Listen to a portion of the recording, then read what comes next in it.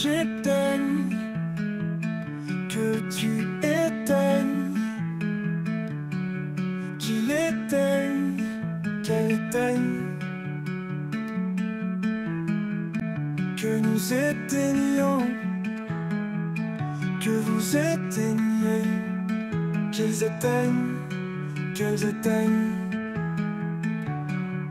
C'est le verbe éteindre au subjonctif présent que j'éteigne, que tu éteignes,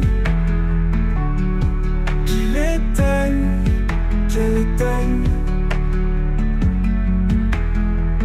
que nous éteignions, que vous éteignez, qu'ils éteignent, qu'ils éteignent.